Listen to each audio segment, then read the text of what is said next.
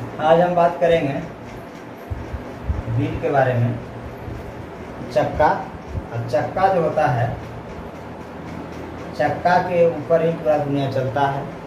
जितने भी गाड़ी है, चक्का पर ही चलता है रेल भी चक्का पे चलता है। और हवाई जहाज़ को ही कभी न कभी चक्का पे चलना होता है। तो इस तरह से तो चक्का जो होता है, रेल का चक्का रेल व्हील जो होता है,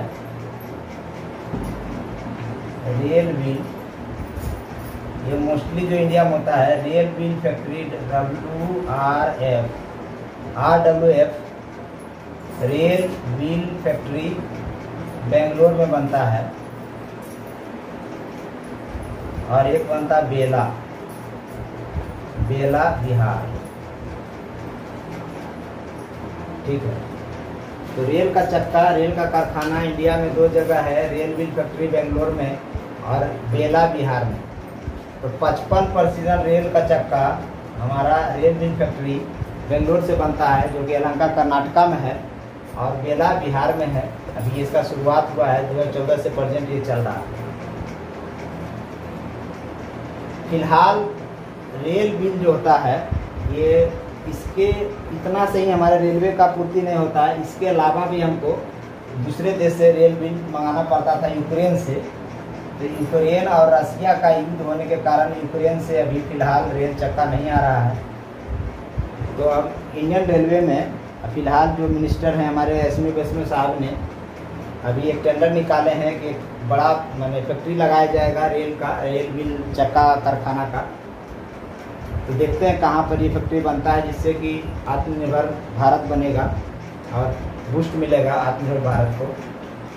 तो इस तरह से जाने रेल बिल तो रेल बिल में आज बताने जा रहे हैं इसका रेल बिल का डायमेंशन जो इसको बोलते हैं एक्सल और एक्सल के ऊपर ही लगा रहता है जो कि एक्सल। इसी के ऊपर चक्का लगा रहता है। तो एक एक्सल पे दो चक्का लगा रहता है। जैसा कि देख रहे हैं, एक एक्सल पे दो चक्का लगा तो इसको बोलते हैं एक्सल और इसको बोलते हैं बीम एक्सल का जो डायमीटर होता है, एक सौ बावन एम होता है, याद रखिए। और ये चक्का, इसमें व्हील गेज जो इसका जो एक चक्का, एक एक्सल पे दो चक्का है, और दो चक्का का बीच का दूरी जो इनर से दूरी है, अंदर से दूरी है, वो उसको बोलते हैं व्हील गेज। उसको बोलते हैं व्हील व्हील गेज। और व्हील गेज होता है 1600 plus to minus one m यानी सोलह सौ दो मैक्सिमम होगा और पंद्रह सौ निन्यानवे मिनिमम होगा। तो ये डिस्टेंस जो था, दो चक्का का इनर से डिस्टेंस इसको बोलते हैं बिल गेज और एक होता है बिल बेस लोग कंफ्यूज हो जाते हैं, एक होता है बिल बेस तो आज हम आपको बता देते हैं कि मान लीजिए ये दो एक्सल है, चक्का है दो इधर दो चक्का है, चार चक्का, और ये ट्रोली बन गया हमारा। इस ट्रोली में दो एक्सल का जो ये सेंटर डिस्टेंस होगा, ये सेंटर डिस्टेंस, इसको बोलते हैं बिल बेस। Wheel base. और ICF, integral coach factory, integral coach factory, ICF जो गाड़ी होती है, उसका जो बिल बेस होता है होता है अट्ठाईस सौ छियानवे एम याद रखिए। और एल एच बी का जो ट्रॉली होता है एल एच बी का जो बोगी होता है बोगी और ट्रॉली एक ही को बोलते हैं। इसको बोगी भी बोला जाता है। इसको ट्रॉली भी बोलते हैं। इसको ट्रक भी बोलते हैं। इसको कोच नहीं बोलते। कोच बताएँगे, कोच किसको बोलते हैं? तो आईसीएफ का जो बिल बेस होगा आईसीएफ का जो बिल बेस होगा, अट्ठाईस सौ छियानवे एम होगा, याद रखिए, डिपार्टमेंटल एग्ज़ाम में हमेशा पूछा जाता है। और एलएचबी का जो बिल बेस होगा, वो पच्चीस सौ साठ एम होगा। उसके बाद आता है कैसनव मालगाड़ी। अब मालगाड़ी का जो बिल बेस होगा, वो दो हज़ार प्लस माइनस पाँच एम होगा। इसके बाद ये रहता है यू आई बोगी, इसका बिल बेस दो हज़ार एम होता है। तो ये कुछ कुछ चीज़ है जिसको याद रखिए। कैसना बोगी जो मालगाड़ी है, उसका बिल बेस होगा। 2000 हज़ार m m plus minus five m यानी दो एक्सल के बीच की दूरी को बिल बेस बोलते हैं, सेंट्रल डिस्टेंस को बात बोल रहा। जो एक्सल का सेंट्रल डिस्टेंस लीजिएगा, उसका दूरी को बोलता है बिल बेस। तो कैसना में 2000 प्लस माइनस फाइव एम होगा एल में पच्चीस सौ साठ एम होगा, और आई में अट्ठाईस सौ छियानवे एम होगा, और यू बोगी के लिए होता है दो हज़ार एम। अब कभी कभी इसमें बेयरिंग भी पूछ जाता है कि किसमें कौन सा बेयरिंग हो जाता है, यहीं पे बता देते हैं ताकि बाद में भी एक बार बताएँगे, आपको याद हो जाएगा। आईसीएफ गाड़ी होगा, उसमें स्पेरिकल रोलर बेयरिंग यूज़ होता है। स्पेरिकल रोलर बेयरिंग एल और कैसनब में, दोनों में सी टी आर बी हो जाता है C T R B cartridge taper roller bearing cartridge taper roller bearing use होता है एल में भी और कैसनम में भी। याद रखिएगा, मालगाड़ी और एल जितना भी बोगी है, सब में C T R B use होता है। जबकि आईसीएफ गाड़ी होगा, उसमें स्पेरिकल रोलर बेरिंग यूज़ होगा और उसके बाद यू आई सी बोगी में होता रोलर बेरिंग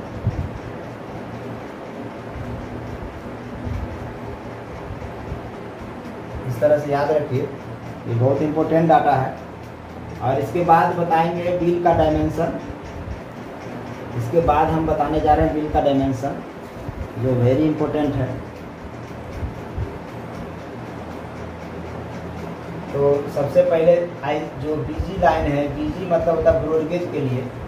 तो गेज के ही पहले देख लेते हैं कि मान लीजिए पटरी जो बिछाते हैं, इस तरह से जो पटरी हमारा बिछा हुआ है, इस तरह से पटरी बिछा हुआ है। ये पटरी जो होता है, ये रेल लाइन हो गया। ये हमारा रेल लाइन हो गया। ये तीन तरह के होता है मेनली मेनली तीन तरह का होता है लेकिन इसको काउंट चार तरह के किया जाता है पहला बीजी दूसरा हो गया मीटर गेज इसको मीटर गेज को बोलिए एम तीसरा हो गया हमारा पहला हो गया ब्रॉड गेज बीजी दूसरा हो गया मीटर गेज नैरो गेज हो गया।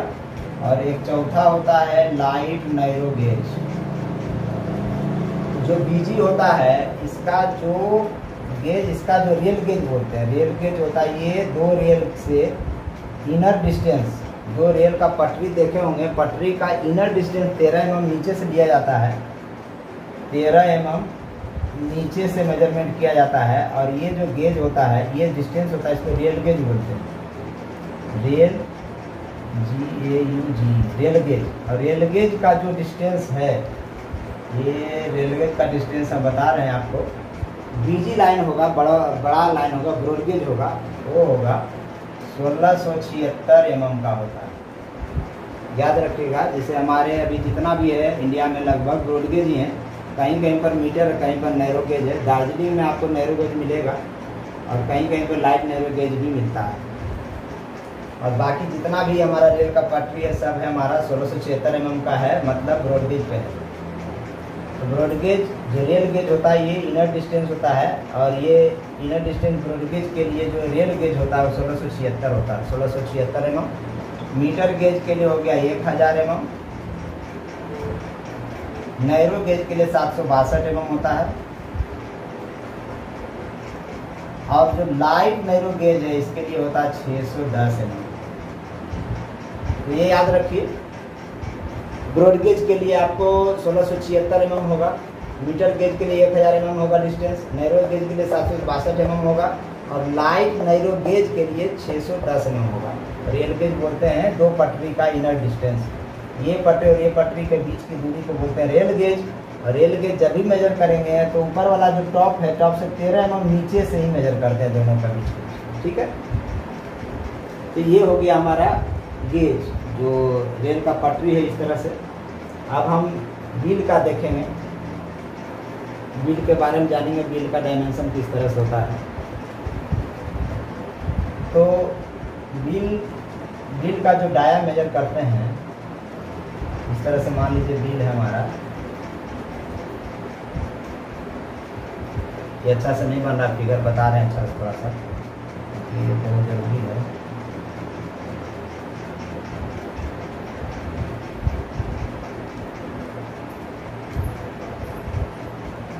ये हमारा चक्का है।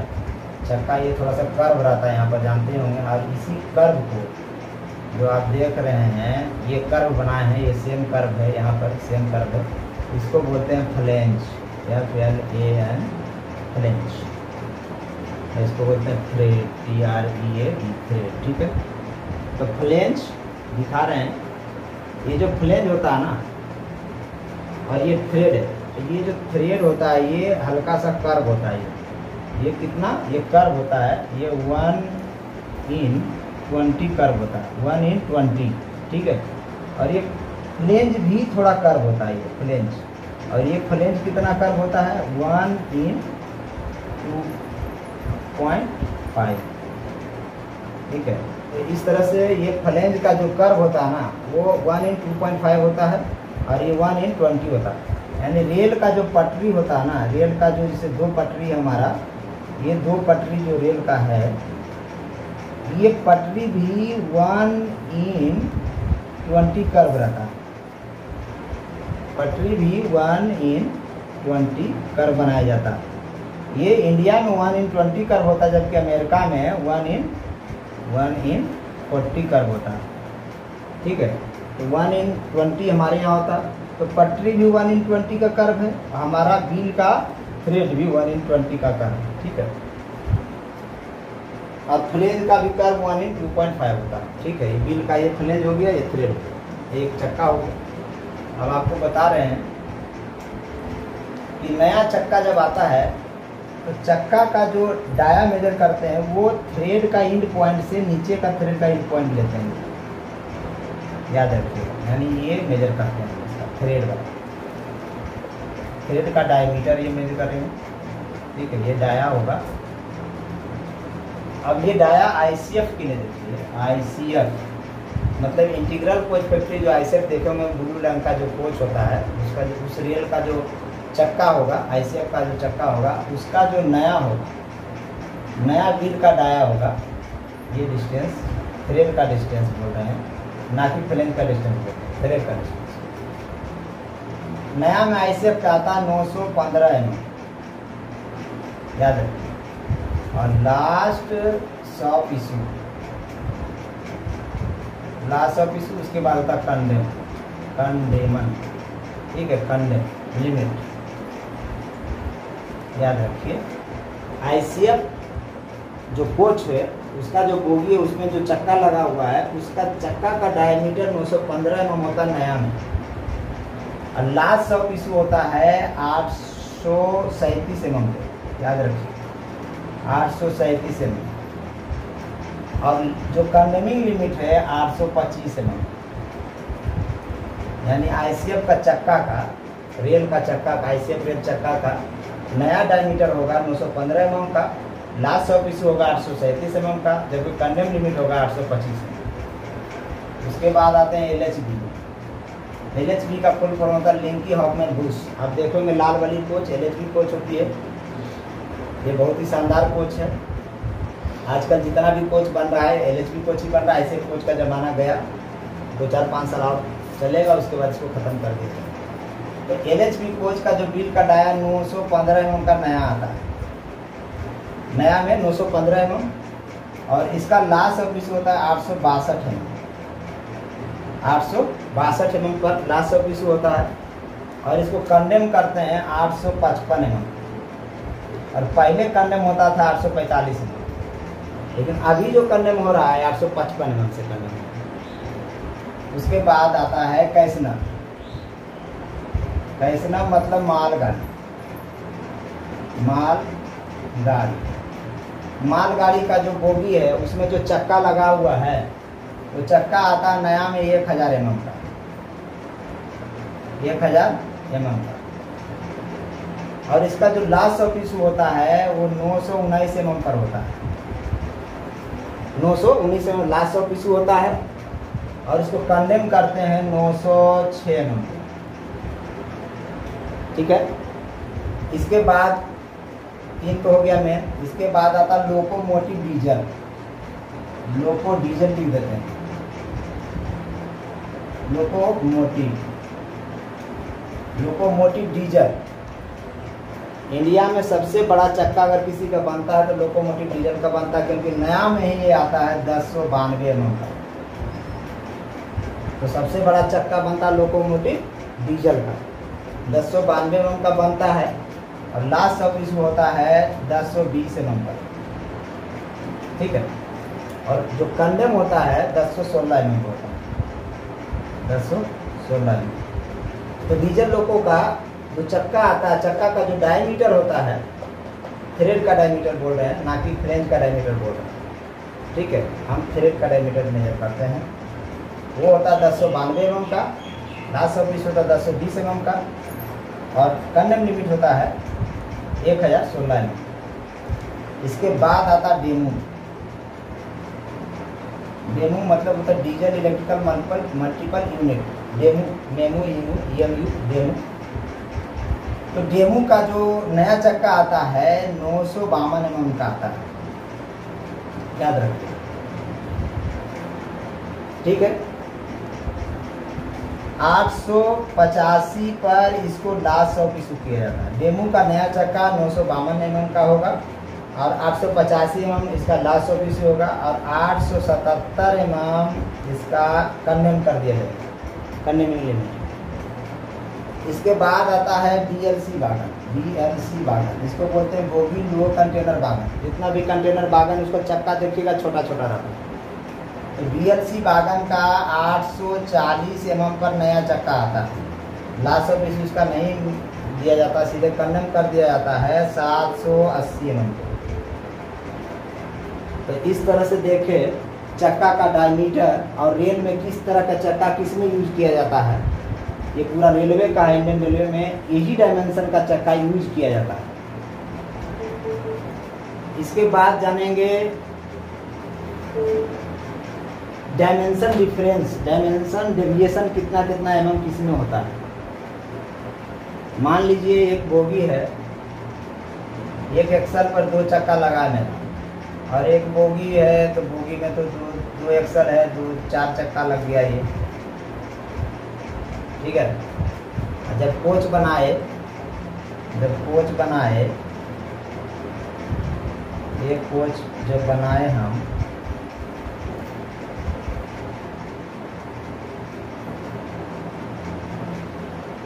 ये हो गया हमारा कोच। एक एक्सल हो गया एक एक्सल पे दो चक्का लगा है एक बोगी में चार चक्का लगा है और एक कोच में, जो पूरा बॉडी कोच होता है उसमें आठ चक्का लगा है। अब इसमें डायमेंशन डिफरेंस देखिए, जो कोचिंग के लिए होता है, इसमें आईसीएफ है एलएचबी है, ये L H B I C F के लिए जो डायमेंशन डिफरेंस दिया जाता है कि सेम एक्सल पे इस चक्का और इस चक्का का डायमीटर डिफरेंस कुछ होगा। और इस चार चक्का में कुछ डिफरेंस होगा, आई भी आठ चक्का में कुछ डिफरेंस होगा। तो एक एक्सल पे दो चक्का जब हम देते हैं, लगाते हैं तो इस चक्का का dimension difference L H B I C F दोनों के लिए पॉइंट फाइव एम से ज़्यादा नहीं होना चाहिए। यानी मान लीजिए एक चक्का का डायमीटर हमारा नौ सौ चौदह एम एम है तो दूसरा चक्का नौ सौ चौदह पॉइंट फाइव एम हो सकता है। ठीक है? यानी पाँच फाइव एम का डिफरेंस तक ही इसमें एक एक्सल में चलेगा फिर यही जब बोगी में बात आ जाएगा तो फाइव एम तक अलाव है। यानी चारों चक्का के बीच में डिफरेंस में मैक्सिमम पाँच एम तक कर सकते हैं। यानी किसी का नौ सौ चौदह, किसी का नौ सौ तेरह, किसी का नौ सौ बारह, किसी का नौ सौ ग्यारह कर सकते हैं। ठीक है? इसके बाद जब हम इस कोच में जाएँगे तो कोच के लिए आपको तेरह एम ये डायमेंशन डेविएशन दिया गया है कि एक एक्सल पे दो चक्का लगा है, दो चक्का का डायमीटर डिफरेंस कितना तक दिया जा सकता है? एक सेक्शन पे पॉइंट फाइव एम और एक बो, एक बोगी बोलते हैं या टोली बोलते हैं इसको इसको बोगी बोलिए। बोगी आई हो गया कोच। और ये हो गया एक्सल एक एक्सल पे दो चक्का है, बिल सेट बोलते हैं इसको। Bill set. बिल सेट का मतलब एक एक्सल दो चक्का। ठीक है? तो बिल सेट हो गया, अब ये बोगी हो या कोच हो तो पाँच एम डिफरेंस इसमें तक दिया जा सकता है, चारों चक्का में। और तेरह एम का मैक्सिमम डिफरेंस तक दिया जा सकता है हमारा कोच में तो ये तो हो गया हमारा कोचिंग के लिए। ये हो गया किसके लिए? कोचिंग के लिए। अब है बागन। बागन बागन के लिए एक एक्सल पे पॉइंट फाइव एम तो चलेगा। जब बोगी की बात आएगी, बागन की बोगी की बात आएगी तो वहाँ हम तेरह एम तक दे सकते हैं। और वही जब कोच बागन का आएगा, बागन का कोच वो पच्चीस एम तक दिया जा सकता है। ठीक है? तो इस तरह से ये ये फॉलो किया था बागन में और ये फॉलो किया था I C F L S B coaching में। यही फॉलो होता है चक्का का डायमीटर डिफरेंस दिया जाता। है अब इसके बाद हम बात करेंगे व्हील डिफेक्ट के बारे में। तो चक्का है व्हील है, एक्सल है, चल रहा है तो डिफेक्ट तो होगा ही। समय के अनुसार डिफेक्ट होगा। किसी कारण बस भी डिफेक्ट हो सकता है। तो इसमें डिफेक्ट दो तरह का होता है, एक फ्लेंज डिफेक्ट और एक टायर डिफेक्ट। तो सबसे पहला नाम आता है फ्लेंज डिफेक्ट का। तो flange flange defect. Flange defect में क्या है? पहला है शार्प फ्लेंज। तो शार्प फ्लेंज क्या होगा देखिए, इस तरह से रहेगा। तो शार्प फ्लेंज क्या होता है? ये यहाँ जो रेडियस रहता है, ये ये रेडियस चौदह पॉइंट फाइव एम रहता है। रूट रेडियस टॉप पे रूट रेडियस चौदह पॉइंट फाइव एम रहता है। और ये अगर घट के, चौदह पॉइंट घट के हमारा जो फ्लेंज है, चक्का का फ्लेंज है ये वाला पार्ट है। ये पाँच एम हो जाता है, इसको बोलते हैं sharp flange sharp flange sharp flange हो गया। इसका मतलब है कि गाड़ी, इससे क्या होता है शार्प फ्लेंज होने से? 14.5 एम अगर 5 एम हो जाए तो गाड़ी दो भाग में बढ़ जाती एक चला जाएगा पाकिस्तान और एक चला जाएगा बांग्लादेश। ठीक है? दो भाग में बढ़ जाएगा इसे बचाने के लिए एक कानूनी लिमिट दिया गया है। इसको बोलते हैं शार्प फ्लेंज यानी ये फ्लेंज ये घट जाता है, धीरे धीरे धीरे धीरे रूट रेडियस घट जाता है। इसके बाद आता है शार्प फ्लेंज के बाद आता है थिन फ्लेंज ठीक है? ये हो गया स्टार का फ्लेंज की डिफेक्ट में। फ्लेंज डिफेक्ट में पहला है शार्प फ्लेंज दूसरा है थिन फ्लेंज थिन फ्लेंज का मतलब क्या हुआ कि फ्लेंज ही थिन हो गई थिन फ्लेंज मतलब पतला हो गया फ्लेंज धीरे धीरे। जब ये पतला हो गया है तो ये क्या होगा? ये पहले मोटा था, थोड़ा ज़्यादा मोटा था, ये उनतीस पॉइंट फोर एम एम रहता मोटाई था, लेकिन धीरे धीरे धीरे पतला हो रहा, ठीक है? तो पतला हो रहा। और ये पतला हो रहा, धीरे धीरे थिन फ्लेंज हो गया। तो थिन फ्लेंज जो होता है, वो मान के चलिए ये उनतीस पॉइंट फोर था, ये हो गया आपका बाईस एम और एक हो गया सोलह एम तो जब उनतीस पॉइंट फोर एम वाला बाईस एम हो जाए तो ये हाई स्पीड ट्रेन में चला सकते हैं इसको। एक सौ दस के एम पर आवर वाला में इसको चला सकते हैं। लेकिन सोलह एम वाला ये एक मेल एक्सप्रेस में चलाया जाता है अप टू सोलह तक। चिन फ्लेंज होने के कारण क्या दिक्कत होता है? ये पटरी पर चढ़ जाता पार कर जाता है इससे डिरेलमेंट हो जाता, गाड़ी गिर जाती। तो इसको भी बचाना।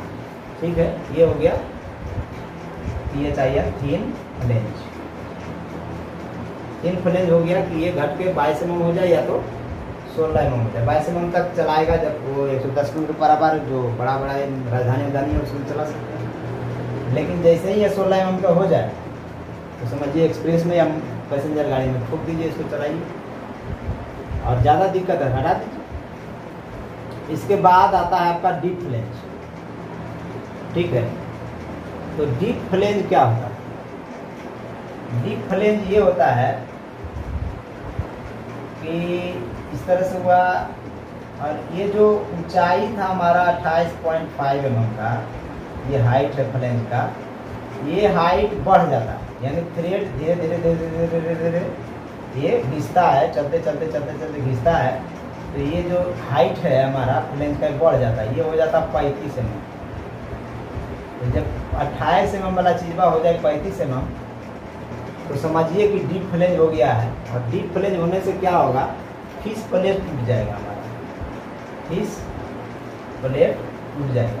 फ़िश प्लेट टूट जाएगा तो रेल दुर्घटनाग्रस्त हो जाएगी। और फ़िश प्लेट किसको बोलते हैं? जब दो पटरी को जोड़ता है इसको बोलते हैं फ़िश प्लेट और ये फ़िश प्लेट हमेशा स्लीपर के बीच में ही लगाया जाता है। दो स्लीपर के टंगा हुआ रहता है।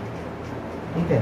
दो पटरी रेल, दो रेल पटरी को जोड़ता है फ़िश प्लेट इसको बोलते हैं फ़िश प्लेट ठीक है? और फ़िश प्लेट का काम ही है। दो पटरी को जोड़े रखता है। गर्मी के दिन में एक्सपेंशन वेंशन होता है। इसको एडजस्ट कर लेता है। ठीक है? तो फ़िश प्लेट टूट जाएगा तो ऑटोमेटिक है कि रेल दुर्घटनाग्रस्त हो जाएगा। तो ये अट्ठाईस पॉइंट फाइव एम वाला पैंतीस एम हो जाए तो डिफरेंस हो गया। और ये अगर बत्तीस एम एम बत्तीस एम तक चला गया मतलब ये 110 एम पर आवर वाला में चला सकते हैं। हाई स्पीड तक बत्तीस एम तक चला किया जाता है ठीक है? बत्तीस एम तक हाई स्पीड वाला चला किया जाता है पैंतीस एम हो गया जब तक, मैंने मान लीजिए आपका मेल एक्सप्रेस में चला सकते तो ये हो गया डीप प्लेन और डीप प्लेन से क्या हो गया? हमारा फ़िश प्लेट टूट गया, इससे रेल दुर्घटनाग्रस्त हो सकता है। इसके बाद आता है आपका root radius low root radius इसको बोलते हैं लो रूट रेडियस ठीक है?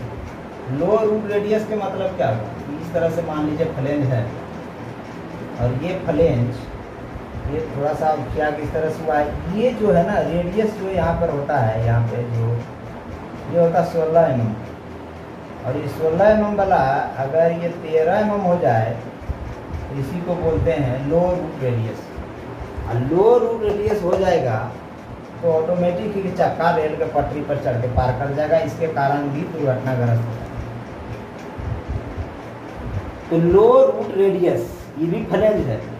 ये टॉप फ्लेंज वाला रेडियस 14.5 एम एम अलग था और ये बॉटम फ्लेंज वाला जो है रेडियस ये होता है सोलह एम और ये हो गया तेरह एम ये हो जा रहा था पाँच एम एम सर फ्लेंज में और ये लो रूट रेडियस में हो जा रहा तेरह एम सोलह एम वाला बन गया तेरह एम तब आ गया लो रूट रेडियस और वही चौदह point five M top flange के टॉप पर था वो हो गया पाँच एम तब वो हो गया हमारा सार ठीक है?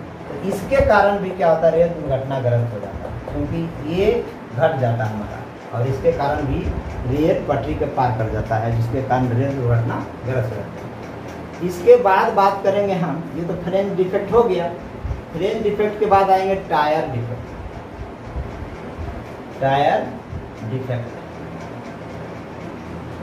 Tyre defects में पहला डिफेक्ट आता है हॉलो टायर।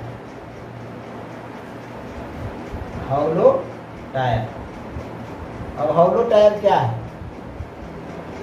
एक टायर डिफेक्ट गेज आता है उससे आप सबका मेज़रमेंट किया जाता है। आप फ्लेंज का डिफेक्ट उसी से मेजर कर सकते हैं, टायर डिफेक्ट भी उसी से मेजर कर सकते हैं। टायर डिफेक्ट गेज आता है एक छोटा सा।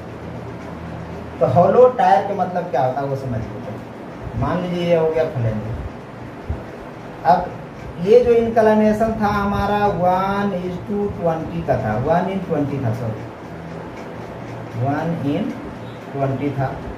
अगर यही वाला चीज़ बा इस तरह से क्या ऐसे हो जाए, देखने में खराब लग रहा है, ठीक है? तो ये वन ट्वेंटी था, ये ट्वेंटी इन वन हो गया ठीक है? याद रखिए कन्वर्ट कैसे हो रहा है? ये इंक्लानेशन था वन इन ट्वेंटी का, हो क्या गया? ट्वेंटी इन वन इसको बोलते हैं हॉलो टाइम और इसके कारण जब गेज रखिएगा ना तो यहाँ पर एक गैप आ जाता है। मान लीजिए बैठेगा एक गैप आ जाएगा पाँच एम का गैप आ जाएगा और हॉलो टायर हो गया। समझ रहे बात?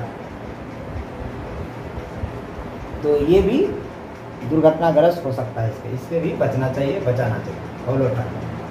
हॉलो टायर के बाद आता है आपका फ्लैट। इसके बाद आता है आपका फ्लैट। दूसरा नंबर पर टायर डिफेक्ट में आता है flat. F L A T flat? Tyre flat tyre में क्या होता? चक्का जो होता है ना, जैसे गोल है चक्का।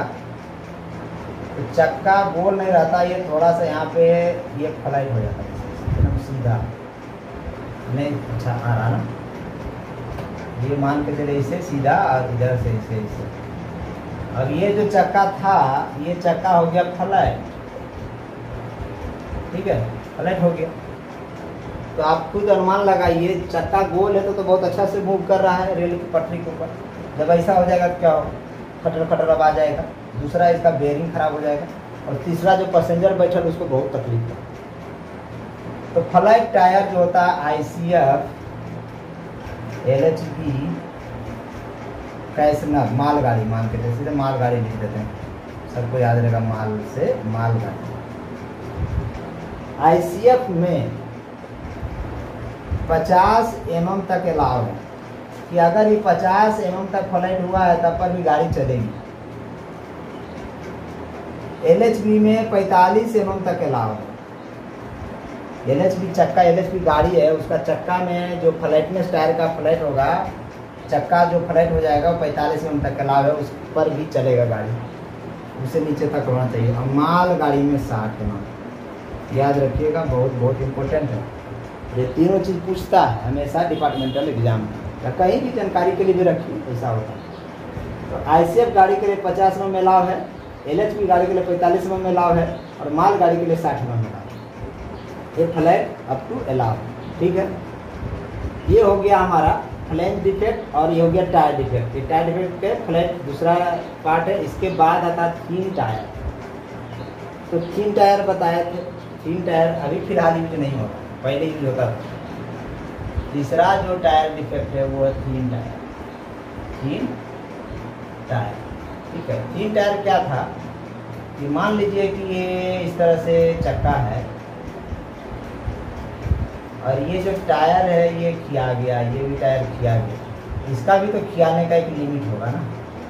एक लिमिट होता था और उसमें टायर अलग से लगाया जाता था। ये टायर जो है, ये टायर ये अलग से लगा रहता था रिबेटिंग किया हुआ रहता था इसमें।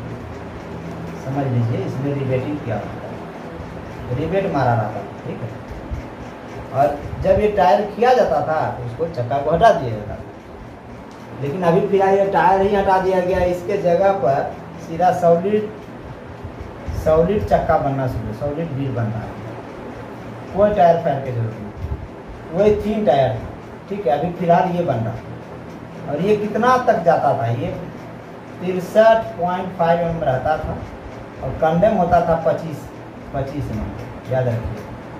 यानी नया में जो टायर लगाया जाता था, उसका मोटाई, टायर का जो मोटाई है, ये मोटाई ये मोटाई रहता था तिरसठ पॉइंट फाइव एम और कंडेम होता था पच्चीस एम फ़िलहाल अभी ये तीन टायर का यूज़ नहीं होता, क्योंकि अब सॉलिड बिल आने लगा। सॉलिड बिल आने लगा तो कोई ज़रूरत नहीं, आराम से प्रोफाइलिंग कीजिए, करिए।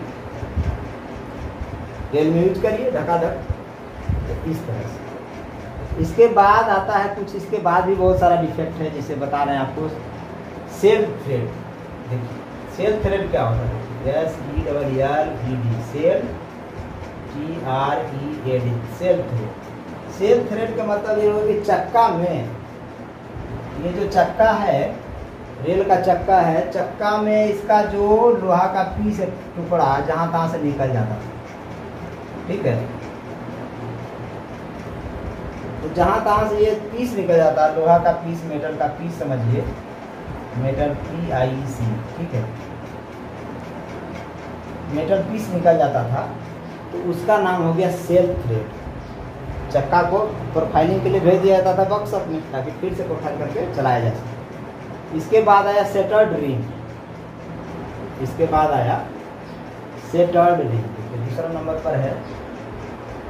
Shattered T E R E D shattered tread shattered tread में क्या था? चक्का का थ्रेड जो है, चक्का का जो थ्रेड है, ये थोड़ा सा इसे टुकड़ा टुकड़ा टूट जाता। टुकड़ा टूटना, ठीक है? थ्रेड का या फलेंज का, टुकड़ा अगर टूट गया, उसको सेटर्ड बोलते हैं। टुकड़ा टूट गया मतलब सेटर्ड हो गया, ठीक है? और सेल वाला था कि मेटल का छोटा छोटा पीस निकलता था। इसमें है कि सेटर्ड में टुकड़ा टूट जाता था। तो उसको बोलते सेटर्ड ड्रीम इसके कारण भी इसको डिफेक्ट करके भेज दिया, हटा दिया जाता था। इसके बाद जो डिफेक्ट है, जो खराबी है, वो था स्प्रीड रेम स्प्रीड रेम जो था S P R P A D spread rim तो के अंदर में ही क्रैक जनरेट हो जाता था। स्प्रिंग में फैल फैलाव होता है। तो ये जो रीम है, रिम में ही इस तरह से क्रैक हो जाता था। और इस क्रैक होने के कारण इसको सर्विस से ही हटा देता, क्योंकि अगर ये सर्विस अगर मैं आया तो ये डिस्क जो है, हमारा चक्का जो है, टूट जाएगा चलते चलते और रेल एक्सीडेंट हो जाएगा। इसके कारण स्पीड रिम वाला जो भी केस आता था, वो चक्का को कंडेम कर दिया। ठीक है? और इसके बाद जो आया, एक चौथा नंबर पर थर्मल करेक्ट आया थर्मल थर्मल करेक्ट और थर्मल करेक्ट क्या होता है? थर्मल करेक्ट में क्या होता है कि ब्रेक बाइंडिंग जिसे ड्राइवर मारता है तो चक्का अचानक उठता है, पटरी के ऊपर। चक्का जो है, अचानक उठता है, जिसके कारण हीट जनरेट होता था अचानक एक जगह पे, और वहाँ पर नीला रंग हो जाता था। नीला रंग लाइन बन जाता था, लाइन। ठीक है? हीट के कारण हो जाता इसको बोल दिया थर्मल करेक्ट थर्मल करेक्ट होने के कारण इसको भी रिजेक्ट कर दिया। ठीक है? इसके बाद आ गया पांचवा नंबर पे heat cracked heat heat cracked क्या हुआ?